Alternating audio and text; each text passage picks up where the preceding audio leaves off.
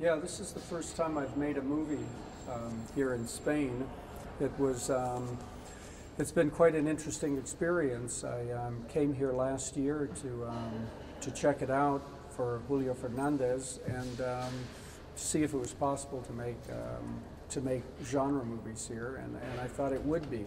So it took us a while, a few months to get started, but now we're in our first picture, and it's pretty much like shooting in LA.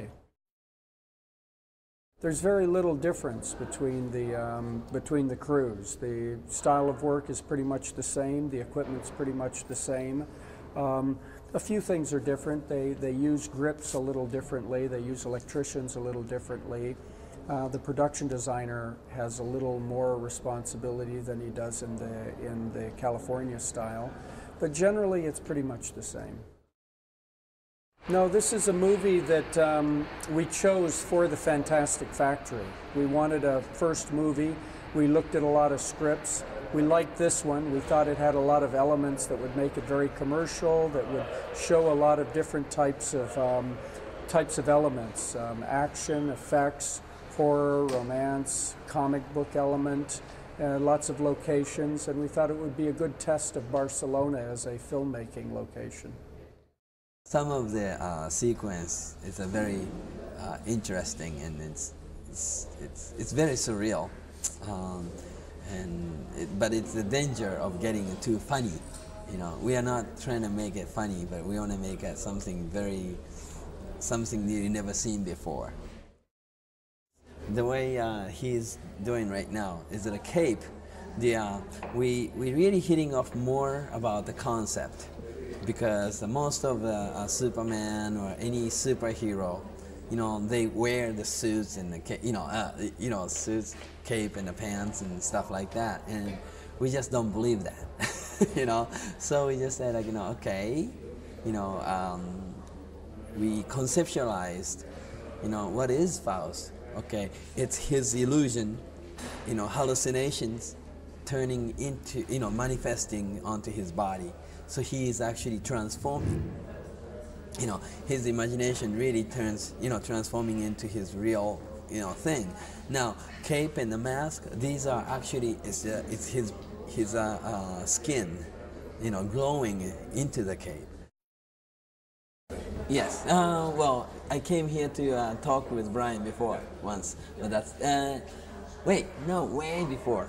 When I was in high school, yeah, I uh, came here once uh, just to go to the Dali Museum and uh, uh, also Prado Museum. I have never worked with him before. No, I met him in London and he came to see a play that I was doing at the time, which was a Jane Austen play called Emma. And uh, it's very different from this, completely different part. A very young, very naive girl.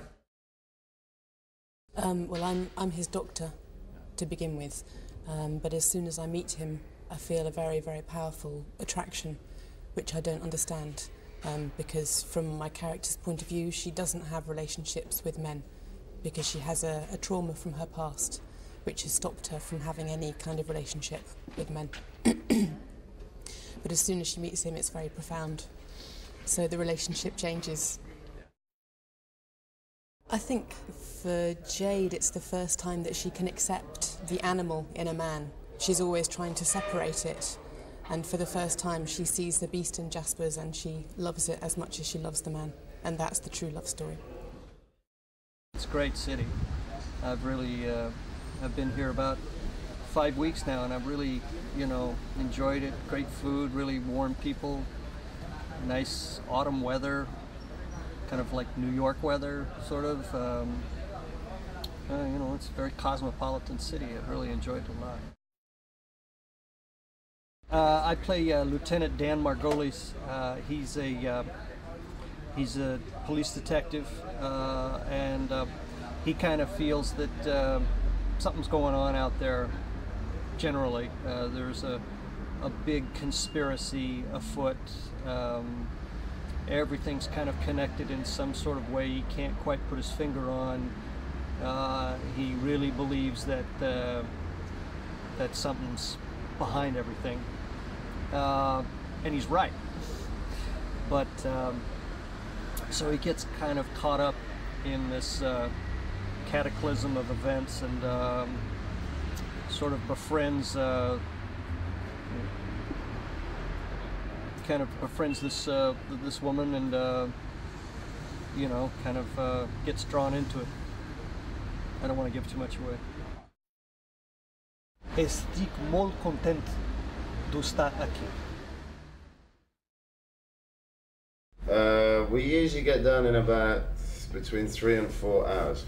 So, uh, yeah, but it's about an hour and a half to put the first stage, to put all the facial effects on, and then another hour to paint, and then um, and then I have to put the full body suit on, and that takes probably probably about three to four hours. So it's it's it's, it's an ordeal with these guys. Thanks. no, they uh, they treat me very well. Well, you've you found me at a fairly extreme stage of the film in terms of my character, as you can see. Um, he starts life as an artist, um, loses his girlfriend, she's murdered, and uh, as a result, sort of loses all hope, and uh, then sells his soul to the devil, who offers him uh, the power of vengeance, and uh, and uh, becomes a, a, sort of killer in the service of the devil, uh, and then decides to end his contract with the devil, starts to care again, and as a result, uh, suffers greatly, and those around him suffer, and uh, he sort of becomes the figure you are beginning to see now, um, the and and goes up against the devil. Um, it's basically a comic book uh, superhero type character.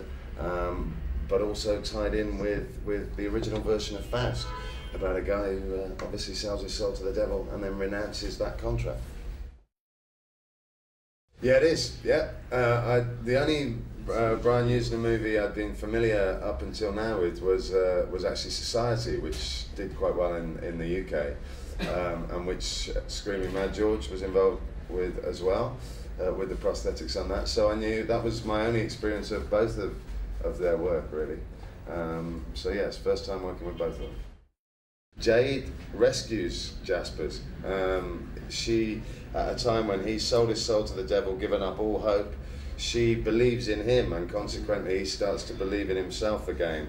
Um, she is the sort of the the, the the, the very strong woman who gives him the strength to oppose the the, the, the, the devil and his own demons.